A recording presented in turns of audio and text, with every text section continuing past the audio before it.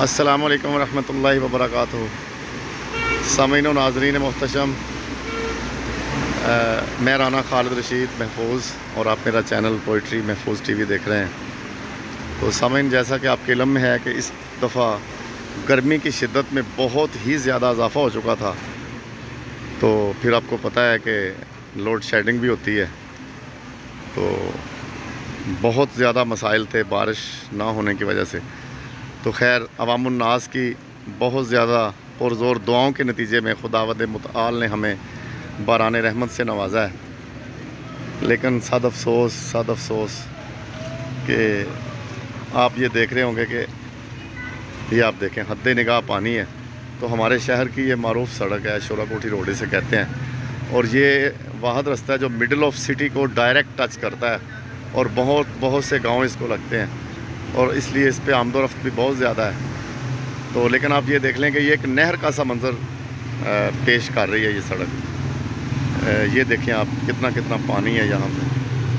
تو سات افسوس کہ ہمارے ہاں سیوریج وغیرہ کا اور دیگر نظام ایسے ناقص ہیں کہ باران رحمت جو ہے، وہ اس کے بعد آپ یہ دیکھ لیں کہ زحمت کا سامنا کرنا پڑ رہا ہے۔ یہ باعث زحمت ہوا ہوا ہے، یہ اتنا سا پانی۔ پھر یہ ہے کہ کچرا ان لوگوں نے سویپرز نے کچرا اٹھایا ہی نہیں تھا، پتہ نہیں ان کو تنخواہیں نہیں مل رہی تھیں یا کیا مسئلہ تھا۔ کچرا جگہ جگہ پہ، خاص طور پہ یہ بڑا جو روڈ ہے نا، شورا کوٹھی روڈ ظاہر ہے باہر ڈربے وغیرہ تو کچھ رکھے نہیں ہیں کچرے کے لیے ان لوگوں نے۔ لوگ تو یہ لوگ ڈیلی بیسز پہ اپنے گھروں سے یا شاپ شاپ کے سامنے وہ ایک کچرے کی ڈھیری سی لگا دیتے ہیں اور پھر صبح یا رات کو وہ سویپر اٹھا کے لے جاتے ہیں۔ تو کتنے دنوں سے وہ انہوں نے اٹھایا ہی نہیں تھا۔ تو وہ بس آپ یہ دیکھ لیں کہ یہ باران رحمت سے اللہ نے ہمیں نوازا ہے، تو وہ یہ پانی میں بہہ کے کہیں آگے پیچھے نکل گیا ہے کچرا۔ تو ماہ محرم الحرام بھی شروع ہونے والا ہے، کیونکہ اسلامی سال کا آغاز ماہ محرم سے ہی ہوتا ہے۔